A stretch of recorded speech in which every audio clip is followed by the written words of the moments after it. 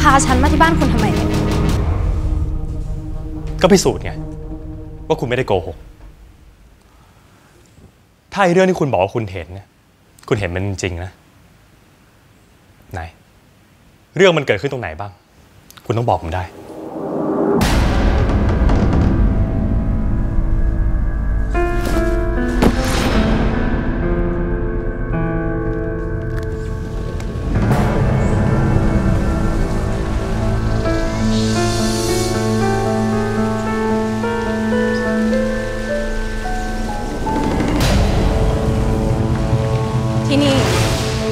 ที่สระน้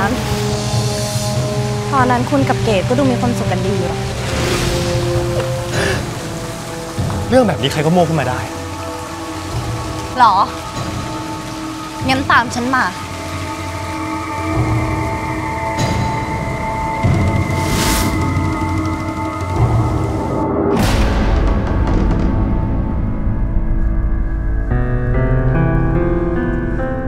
คุณกับเกด เคยมีเรื่องทะเลาะกันในห้องนี้ ถ้าฉันไม่เห็นแล้วฉันจะรู้ได้ยังไง ในเมื่อบ้านคุณมันออกจะใหญ่โต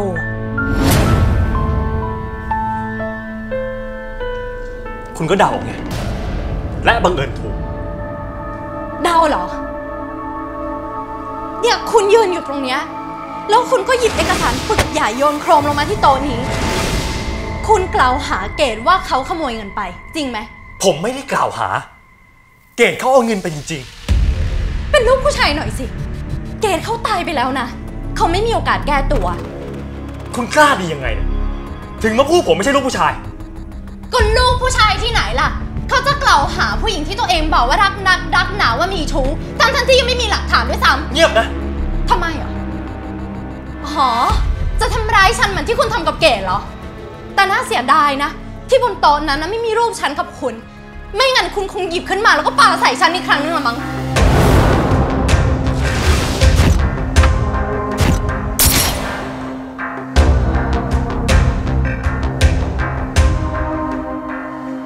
เงียบทำไมล่ะ คุณคงเกิดละอายใจตัวเองขึ้นมาละสิ